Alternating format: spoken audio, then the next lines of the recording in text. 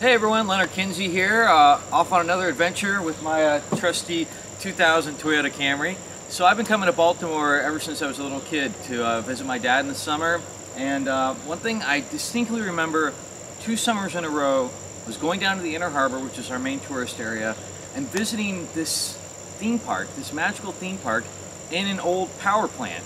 They had a 4D theater and they had a thing where you went around all these Pepper's Ghost effects. It was kind of like a, a for real Museum of the Weird. There were no rides, no rides at all. Uh, but it was a Six Flags theme park. Years go by, years and years and years. I, I moved to Baltimore and I'm going by the power plant. I'm like, there was a theme park in there. And everyone I talked to was like, that, no, there was no theme park in there. You're completely wrong. That never existed. I'd be like, I swear to God, once upon a time there was a Six Flags theme park in there and no one knew what the hell I was talking about. Everyone thought I was delusional until one day I bring it up to Josh who runs themeparkuniversity.com and he's like, let me look into it. And sure enough, he finds this treasure trove worth of stuff on Six Flags Power Plant. And he did a four-part series on this park and I've gone and taken as many pictures as I could from his article and now we're going to go to the power plant and we're going to go into it and we're going to see what we can find that matches up with the pictures that Josh put in his article. So let's go.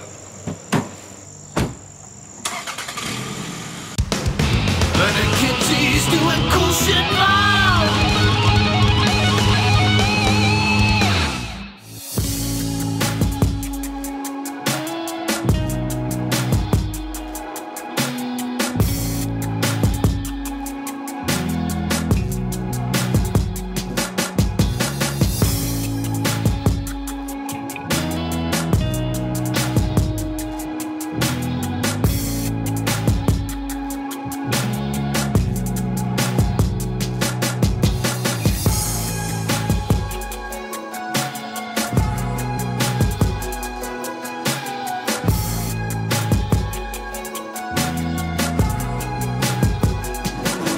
Okay, so first up is the Hard Rock. Now that's where the entrance to the park was.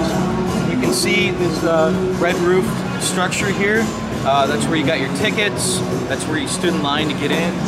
That really has not changed at all. That structure is pretty much exactly the same. And that's also what we're going to use to orient ourselves as to what's north, south, east, and west when we're looking at the map of the park that we have. So we know, because that structure is there, that's where the entrance was grand staircase was directly in front of that. All right, let's go in.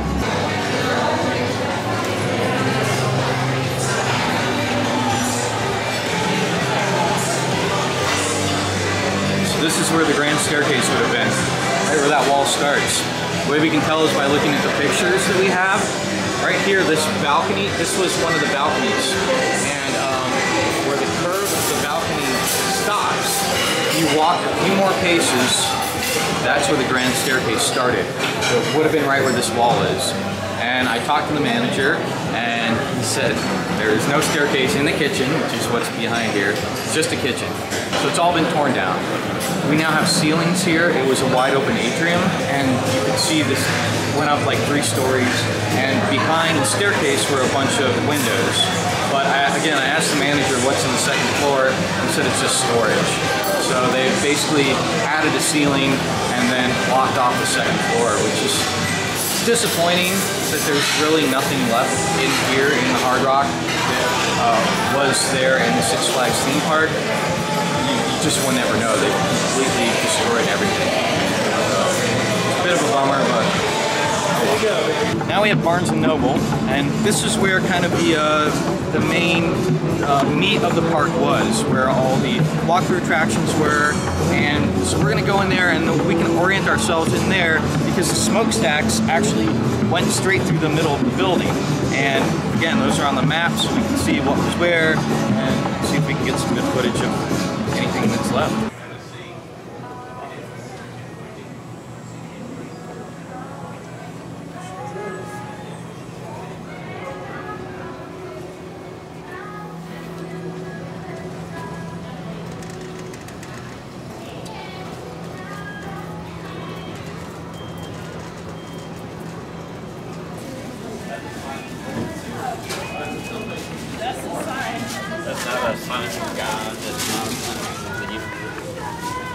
Exterminate. this is the only thing here that we can match up in the pictures. This smokestack, this smoke, well there's four of them. And then right there would be where the balcony is.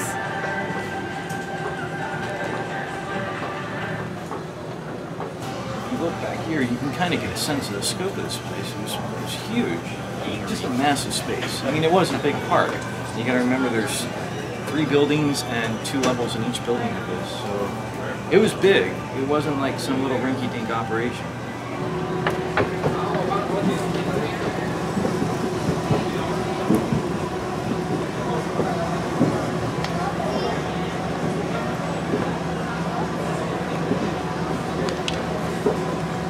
Good job. All right, so this is the last stop. It's now Phillips Seafood Restaurant. This is where the 4D Theater used to be. This is where the uh, big other theater with the animatronics used to be. So you would get in there from the Barnes Noble and queue up there and then you would go into this building. So I don't know what's gonna be left in there. We'll see. Okay, so where we are now, kind of in the bar area of Phillips, I think it was the Circus of the Mysterious that floor above us, which is closed off, it was the, the 4D theater, Sensorium.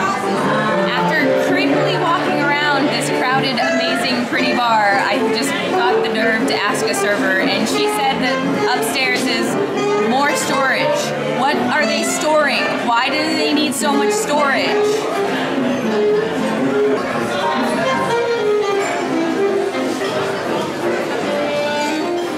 So this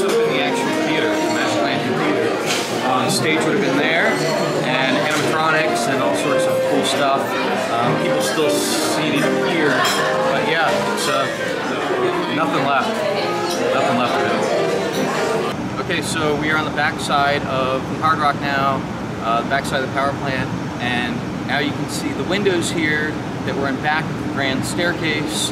Uh, they match up exactly. It's a square, a rectangle, and a big curvy part. You can't see them from inside the Hard Rock anymore.